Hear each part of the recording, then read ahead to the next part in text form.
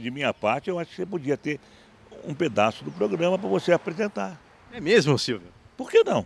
Poxa, eu vou ficar muito agradecido. Você não mas você não, não, não é- é profissional? Sim, Não tem vontade de seguir a carreira? muita. Não tem 80, 80 100 pessoas que participam do Teleton? Por que não pode colocar você numa meia hora ou enfim, numa hora? Poxa, muito bom. Conversa com o Michael, eu falo com ele. Roger, eu vou falar com, com, com o Michael.